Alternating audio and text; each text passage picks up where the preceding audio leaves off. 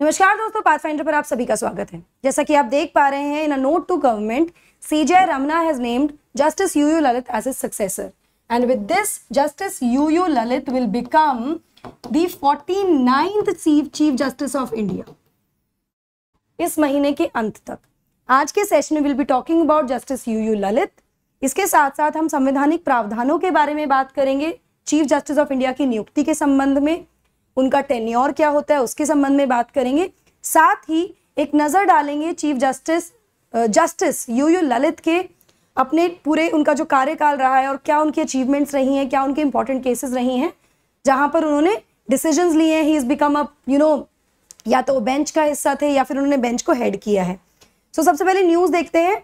According to the news as I told you chief justice of India N V Ramana he has recommended to the government the name of chief the name of justice Uday Umesh Lalit U U Lalit जो कि अभी फ़िलहाल second most senior second most senior जज हैं supreme court के as a successor and with this, he will become the 49th CJI of India and will take his oath on 26th August 2022.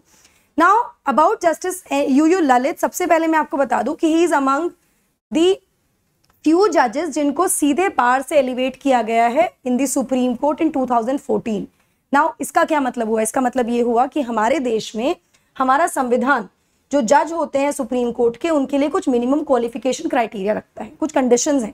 अगर किसी, कोई व्यक्ति सुप्रीम कोर्ट का जज बनेगा and eventually he can become the C J I also there are minimum qualification what are these he or she has to be the citizen of India देश का नागरिक होने वाले हैं। नंबर टू किसी भी हाई कोर्ट में वो जज रहे हो, एक या एक से ज़्यादा हाई कोर्ट में पाँच साल के लिए, या फिर, और this citizen of India and जज in the high court one और more high court for five years और, या फिर किसी एक हाई कोर्ट या एक से ज़्यादा हाई कोर्ट में दस साल तक उन्होंने प्रैक्टिस की है मतलब he has been a lawyer in case of justice Lalit he was a lawyer and he became the six lawyer to be honoured where he was made the judge of Supreme Court without being a judge of High Court in 2014. ठीक है? इनका जो कार्यकाल रहेगा, वो काफ़ी छोटा रहेगा मतलब वो 26 अगस्त को अपनी ओथ लेंगे और 8 नवंबर 2022 को वो रिटायर हो जाएँगे। About the term of office of the chief justice of India also the constitution has not prescribed any minimum age criteria but has given a maximum age limit which is 65 years तो जो जजेस 65 years की as attain कर लेते हैं they have to retire ठीक है? This is the maximum as a जज कैन बी द जज ऑल राइट तो 65 इयर्स के हो जाएँगे। जो हमारे जस्टिस uh, ललित हैं उसके बाद वो रिटायर हो जाएँगे इसके बाद अगले चीफ जस्टिस आ जाएँगे। चलिए इसके बारे में इसके प्रावधानों के बारे में संवैधानिक प्रावधानों के बारे में डिटेल में बात करेंगे। उससे पहले आप मुझे फॉलो कर सकते हैं पाथ फाइंडर के टेलीग्राम चैनल पर। आप मुझे फॉलो कर सकते हैं एनडी लाइव टेन पर भी मेरी क्लास के शेड्यूल और अपडेट्स के लिए और पीडीएफ्स uh, के लिए। अन अकेडमी ऐप पर भी आप मुझे फॉलो कर सकते हैं मेरी सभी क्लासेस के लिए स्पेशल और प्लस कोर्सेज के लिए दोस्तों। एनरोल करने के लिए आपको सिर्फ़ मेरा कोड यूज़ करना है एनडी लाइव टेन इस कोड का बेनिफिट ये है कि I will be there to help you through and through in your preparation price hike होने वाला है, अभी जाइए ND life ten code use करके टेन परसेंट डिस्काउंट लीजिए और अपना सब्सक्रिप्शन इंश्योर कीजिए बिफोर द प्राइस इंक्रीजेस चलिए अपॉइंटमेंट की बात करते हैं ऑफ़ द जजेस of supreme court higher judiciary तो ये कॉन्स्टिट्यूशन में आर्टिकल 124 इसके बारे में बात करता है। पार्ट फाइव पांचवा जो भाग है, उसमें जुडिशरी जो चैप्टर है, उसका 124वां आर्टिकल जो है, वो बात करता है appointment of the higher judiciary in India यानी सुप्रीम कोर्ट के जजेस और सीजीआई के बारे में, जिनकी नियुक्ति अपॉइंटमेंट किया जाता है by the president is made by the president of India जो कि एग्जीक्यूटिव हेड हैं देश के, है ना? लेकिन क्या इस संबंध में उनका कोई और रोल होता है? नहीं, वो सिर्फ़ अपॉइंट करते हैं उस व्यक्ति को जिसको रेकमेंड किया जाता है by the collegium collegium system के द्वारा। ना what does this collegium means इसके बारे में अभी बात करते हैं सो एज पर दी प्रोटोकॉल जो भी सीनियर मोस्ट जज होगा सुप्रीम कोर्ट का, उसको डेजिग्नेट किया जाता है CJI now after Ramana who is the senior most he is the second senior most now it is justice Lalit So he will become the senior most once uh, NV Ramana will retire. That is why he is the one. Age पर the practice एक formal recommendation होता है CGI designate का जो sort किया जाता है by the current जो सीजियाँ हैं उनके द्वारा एक महीने पहले अपने रिटायरमेंट के डेट से उनके बारे में बात की जाती है कोलेजियम बनाया जाता है। कैसे काम करता है बताती हूँ।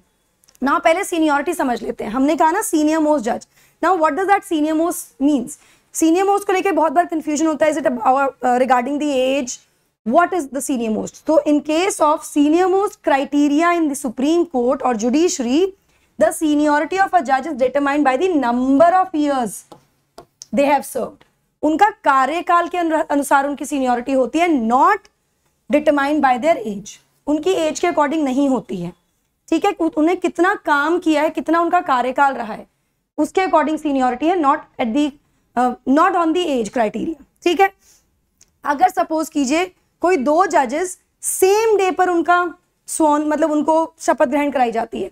दो जजेस एक दिन पर सुप्रीम कोर्ट के जज बनते हैं। अब उस दिन उसमें कैसे सीनियोरिटी डिसाइड करेंगे? कार्यकाल से डिसाइड करनी है। तो ऐसे में जो जज पहले शपथ लेते हैं, वो सीनियर माने जाते हैं in comparison to the other I hope ये आपको क्लियर हो गया होगा। सीनियोरिटी ऐसे डिटरमाइन करते हैं। Now let's talk about the collegium so in they in case of the judgement जजेस अपॉइंटमेंट इन सुप्रीम कोर्ट या सीजेआई की नियुक्ति के केस में भी the role of government is very limited limited as an the current CJI will recommend the name and he'll be, he will be, he or she will be appointed by the president on the aid and advice of prime minister and council of ministers. वो सही है, वहाँ पे involvement है executive का, लेकिन in choosing the person who is it it is the collegium that works collegium कैसे काम करता है? इसमें करंट जज होते हैं, जो सीजे आए हैं, प्लस चार सीनियर मोस्ट जजेस होते हैं। सुप्रीम कोर्ट के जो मिलकर कोलेजियम बनाते हैं, पाँच लोग मिलकर कोलेजियम बनाते हैं। Now this is not a constitutional provision ये संविधान में नहीं दिया गया है। ये अलग अलग जजेस केस के थ्रू दे बीन थ्री जजेस केसेस उसके थ्रू ये जुडिशली एक तरह से कह सकते हैं कि क्रिएटेड कॉन्सेप्ट है। जुडिशली लाया गया है ये concept of collegium so that we can ensure independence of judiciary जिसकी वजह से जो जुडिशरी है वो इंडिपेंडेंट रहे और वो सेपरेशन देख सकते हैं हम between executive and judiciary encroachment ना हो एक दूसरे की पावर्स में. उसको इंश्योर करने के लिए थ्रू जजेस केसेस वेरियस जजेस cases it has reach to a collegium system जहाँ पे कोलेजियम मींस पाँच जजेस CGI plus four senior most जजेस they actually recommend the person who will become the CGI all right इस प्रोसेस में right जो vote है ना वोट काउंट होती है। तो पाँचों लोग वोट करते हैं, नाम पर जो नाम रेकमेंड किए जाते हैं, उसमें जिसको मैक्सिमम वोट मिलते that person is recommended to be the next CJI senior most CJI बनता है that person recommended to be the जज बेसिकली ये कह सकते हैं, ठीक है? It is that body which is responsible for initiating the process of filling of the vacancies in high judiciary मतलब जजेस के लिए। जब जजेस को नियुक्त किया जा रहा है तो कोलेजियम डिसाइड करता है। अकॉर्डिंगली इन जजेस में से जो सीनियर मोस्ट जज होता है। As a convention again this is not given in the constitution ये कन्वेंशन है। संविधान में नहीं दिया गया है। नियुक्ति के बारे में दिया गया है कि राष्ट्रपति नियुक्त करेंगे। ठीक है? लेकिन कोलेजियम इंडिपेंडेंस ऑफ़ जुडिशरी को इंश्योर करने के लिए क्रिएट किया गया। जुडिशरी के द्वारा अलग अलग जजेस केसेस में, उसके बाद ये जजेस को नियुक्त करेंगे। इनमें से सीनियर मोस्ट जज विल बिकम द सीजीआई ठीक है? ये कन्वेंशन है guys please do not get get confuse now the second senior most जज proceed to take as the oath of CJI after CJI जो भी सेकंड मोस्ट सीनियर मोस्ट जज होगा ना, वो बनेगा. बिकॉज़ जब वो सीजीआई रिटायर होंगे तो he will be the senior most the line of succession for the post of CJI can be determined easily by evaluating who the second senior most जज ये आसानी से हो जाता है, जो भी सीनियर मोस्ट होते हैं. Generally this protocol of seniority यही फॉलो होता है, लेकिन इसमें कुछ एक्सेप्शन रहे हैं. In the duration of tenure of Indira Gandhi government जब इंदिरा गांधी जी प्राइम मिनिस्टर थी, उस समय ये जो कन्वेंशन था, इसको ब्रेक किया गया और एक्सेप्शन लाया गया, जिसमें कि सीनियर मोस्ट जजेस were not made the CGI but the second और third person was made in the comment section you will write the names of those two जजेस विच वर an exception to the senior most जजेस criteria ठीक है? चलिए, अगर justice Lalit की मैं बात करूँ तो he has been part of several important rulings of supreme court जिसमें सीनियर हाल ही में लास्ट मंथ उन्होंने विजय मालिया को सेंटेंस किया है against the contempt of court जिसमें उन्हें गिल्टी पाया गया कंटेम्प्ट ऑफ़ कोर्ट केस में 2017 में चार महीने का इम्प्रिजनमेंट और 2000 का फाइन तो ये उनका एक इंपॉर्टेंट जजमेंट रहा है। इस, एक बेंच को उन्होंने हेड किया था। इसके साथ एक बेंच थी जिसको उन्होंने प्रिसाइड किया था, जिसमें इंपॉर्टेंस ऑफ़ मिटिगेटिंग सर्कमस्टांसेस की बात की गई थी, जब हम डेथ पेनल्टी की बात करें तो कौन से मिटिगेटिंग सर्कमस्टांसेस होते हैं, उनको कंसिडर किया जाएगा डेथ पेनल्टी देते हुए। उसको इन्होंने जज किया, उसको इन्होंने अंडरस्कोर किया। इसके साथ साथ is always been is also been a part of the five जज bench of the most historical judgement in 2017 triple talaq को जब क्वेश किया गया था, जिसमें कि ये जो सेंचुरीज ओल्ड प्रैक्टिस थी इंस्टेंट ट्रिपल तलाक की, उसको खत्म कर दिया गया था। ठीक है? इसके भी हिस्सा रहे हैं। 2021 नवंबर में इन्होंने सुप्रीम कोर्ट की बेंच को हेड किया था, जिसमें दो जजमेंट थे नागपुर बेंच के, बॉम्बे हाई कोर्ट के। मतलब बॉम्बे हाई कोर्ट की जो नागपुर बेंच है, बेंचेस अलग अलग हो सकते हैं, उसके जजमेंट को क्वाश किया था, जिसमें पॉक्सो को लेकर कुछ चीज़ें कही गई थी वट विच वॉज़ बेसिकली इन्होंने कहा था कि, इस जजमेंट में कहा गया था कि सेक्शुअल असॉल्ट जो है under section five of POCSO is the sexual intent and not the skin to skin contact with the child तो इन्होंने इसको क्वाश कर दिया था कि skin to skin contact will be considered an offence ठीक है? 2019 में अयोध्या टाइटल सूट के केस में भी he was a part of the bench लेकिन उन्होंने अपने आप को रिक्यूज किया वहाँ से। रिक्यूज का मतलब क्या होता है? उस उस हियरिंग से अपने आप को अलग कर दिया था। Because it was observe that 1997 में इन्होंने यूपी के जो चीफ मिनिस्टर थे उस समय, कल्याण सिंह जी उनकी तरफ़ से he appeared in the court in this case Ayodhya title case तो है। तो इसलिए इन्होंने अपने आप को उससे हटा लिया था। But he was part of that judgement also मतलब उस केस के में भी इन्होंने रिप्रेजेंट किया था।